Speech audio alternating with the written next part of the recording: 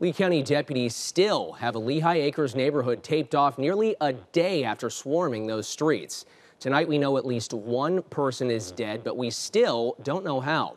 Now, NBC2 first brought you this live to the scene last night at 11 o'clock. All this unfolding along Clayton Avenue in Lehigh Acres. That's right near Richmond Avenue North. NBC2's Hope Salmon is there talking to neighbors. Hope, what are they telling you now? You can see a lot of deputy cars as well as crime scene tape around the whole area. So far, the only thing deputies have told us is that at least one person is dead. They rushed out here to Clayton Avenue last night and they've been here ever since. The only other thing deputies will tell us is that at least one person is detained because of some kind of domestic disturbance. We spoke to neighbors throughout the day who didn't know anything about this investigation. LCSO deputies tell me the scene will be clear in a couple of hours, but for now they're still investigating and this story is still developing.